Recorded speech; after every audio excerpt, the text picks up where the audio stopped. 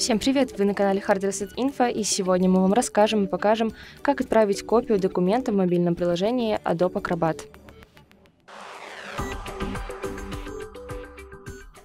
Итак, открываем мобильное приложение Adobe Acrobat. После этого мы можем выбрать из последних наших файлов эм, что мы будем отправлять какую копию. Ну, например, выберем накладки, и здесь видим напротив э, нашего файла три точки. На них нажимаем, и здесь у нас есть функция «Отправить копию». Выбираем «Подготовка файла», и здесь мы уже можем выбрать, э, куда пойдет наша копия. Э, здесь могут быть ваши мессенджеры, то бишь отправить какой-то из мессенджеров, либо здесь они будут, либо просто скопировать, сохранить как изображение, Например, сохраним какое изображение. И давайте проверим.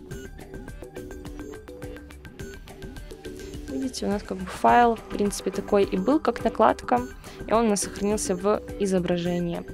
Теперь вы знаете, как отправлять копии документов в мобильном приложении Adobe Acrobat. И на этом все. Всем спасибо за внимание. С вами были Hard Reset Info и до новых встреч.